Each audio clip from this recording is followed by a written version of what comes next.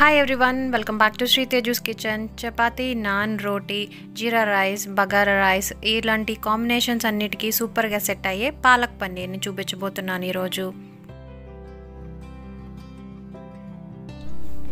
ముందుగా gas on చేసి ఒక సాస్ ప్యాన్ పెట్టుకుని దీనిలోకి హాఫ్ లీటర్ వాటర్ని యాడ్ చేయాలి. అలాగే హాఫ్ టేబుల్ స్పూన్ సాల్ట్ని కూడా యాడ్ చేసి వాటర్ని బాగా బాయిల్ అవ్వనివ్వాలి.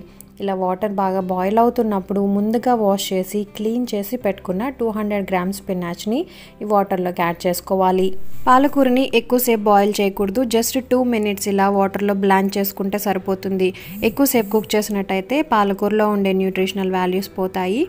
ఇలా టూ మినిట్స్ బాయిల్ చేసిన తర్వాత పాలకూరని తీసి వెంటనే కోల్డ్ వాటర్లోకి ట్రాన్స్ఫర్ చేసుకోవాలి. ఇలా వెంటనే కోల్డ్ వాటర్లోకి ట్రాన్స్ఫర్ చేయడం వల్ల కలర్ చేంజ్ అవ్వకుండా ఉంటుంది. పాలకూరని బాయిల్ చేసిన ఈ వాటర్ను పక్కన పెట్టుకుని కర్రీని కుక్ చేసుకున్నప్పుడు ఈ వాటర్ని యూస్ చేసుకుందాం. తర్వాత ఒక కడాయిని పెట్టి టూ టేబుల్ స్పూన్స్ ఆయిల్ని వేసి హీట్ అవనివ్వాలి. దీంట్లోకి మూడు లవంగాలు ఒక ఇలాచి ఒక ఇంచు దాల్చిన చెక్కని వేసి కొద్దిగా ఫ్రై అయిన తర్వాత రెండు టేబుల్ స్పూన్స్ క్యాష్యూ నట్స్ని కూడా యాడ్ చేసుకోవాలి. ఇవన్నీ కొంచెం దోరగా వేగిన తర్వాత దీంట్లోకి ఒక పెద్ద ఉల్లిపాయని ఇలా కట్ చేసుకుని వేసుకోవాలి. అలాగే రెండు మీడియం సైజు టొమాటోస్ని కూడా ఇలా కట్ చేసుకుని వేసుకోవాలి.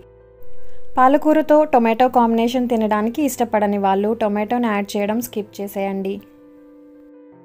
ఈ ఆనియన్స్ టొమాటోస్ సాఫ్ట్గా కుక్ అవ్వాలి. దీనికోసం మూత పెట్టి మధ్య మధ్యలో కలుపుకుంటూ వీటిని కుక్ చేద్దాం. ఈ ఆనియన్స్ సాఫ్ట్గా కుక్ అయ్యే లోపల ఒక మిక్సీ జార్ తీసుకుని ఉడికించి పెట్టుకున్న పాలకూరని ట్రాన్స్ఫర్ చేసుకోవాలి. అలాగే వీటితో పాటుగా రెండు పచ్చిమిర్చిని కూడా యాడ్ చేసుకుని అవసరమైతే కొద్దిగా వాటర్ని యాడ్ చేసి ఫైన్ పేస్ట్ లాగా చేసుకుని పక్కన పెట్టుకోవాలి. ఈ ఆనియన్స్ సాఫ్ట్గా కుక్ అయిపోయాయి. ఇప్పుడు గ్యాస్ ఆఫ్ చేసి వీటిని పూర్తిగా చల్లారనిచ్చి మిక్సీ జార్లోకి వేసి ఫైన్ పేస్ట్ లాగా చేసుకోవాలి. ఇప్పుడు same ప్యాన్లోకి one tablespoon oil one tablespoon బటర్ని add చేసి ఫైన్గా పేస్ట్ చేసి పెట్టుకున్న ఆనియన్ టొమాటో మిక్చర్ని యాడ్ చేద్దాం. ఈ ఆనియన్ టొమాటో మిక్చర్ ఈ బటర్ అండ్ ఆయిల్లో బాగా వేయించుకోవాలి.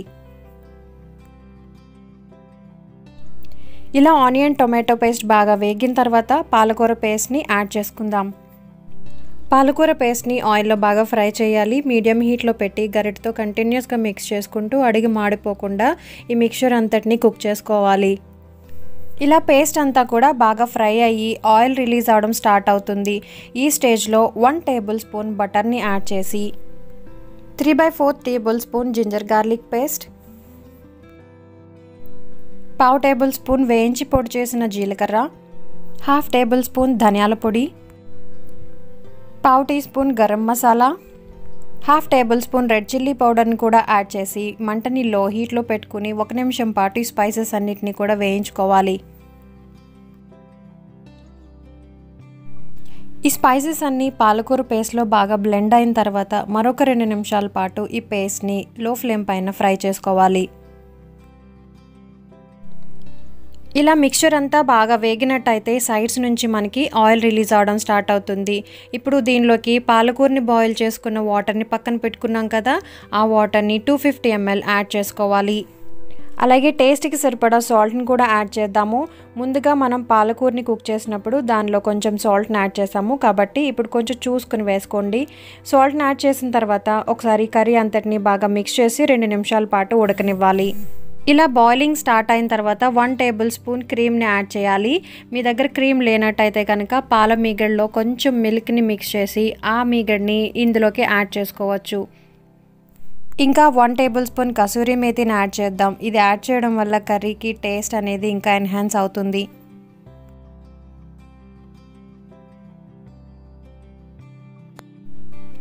ఇప్పుడు టూ హండ్రెడ్ గ్రామ్స్ పన్నీర్ క్యూబ్స్ని యాడ్ చేసి నెమ్మదిగా ఒకసారి కర్రీని మిక్స్ చేసుకోవాలి.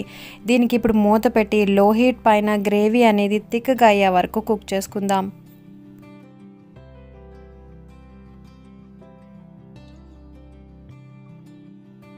ఈ విధంగా five to eight minutes cook చేసుకున్నట్టయితే పాలక్ పన్నీర్ కర్రీ సర్వింగ్కి రెడీ అయిపోతుంది. ఈ curry rice roti chapati naan jeera rice bagara rice ఏ కాంబినేషన్లోకైనా చాలా బాగుంటుంది. మీరు కూడా ఈ రెసిపీని ఒకసారి ట్రై చేయండి. మీకు ఈ రెసిపీ నచ్చినట్టయితే లైక్ చేయండి. మీ ఫ్రెండ్స్ అండ్ ఫ్యామిలీ మెంబర్స్తో ఈ రెసిపీని షేర్ చేయండి. అలాగే మరిన్ని రెసిపీస్ కోసం మన ఛానల్ని విజిట్ చేస్తూ ఉండండి. Thank you for watching